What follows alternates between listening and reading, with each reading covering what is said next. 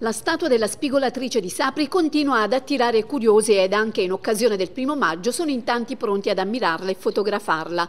Sull'onda di questo successo apre i battenti questo sabato alle 18.30 il nuovo ristorante e pizzeria che prende il nome dalla figura simbolo di Sapri, la spigolatrice appunto. Posto proprio sul lungomare di fronte alla statua è un'altra occasione per celebrare le tipicità che hanno reso nota la cittadina e che attirano sul fronte turistico. Qui oltre al belvedere carattere e al legame nel nome con la statua e la storia di Sapri ci sono le tipicità gustose del territorio. Il ristorante, pizzeria e apericena Spigolatrice infatti è pronto ad offrire accanto alla visita prima e dopo di una piacevole passeggiata sul lungomare le sue bontà culinarie.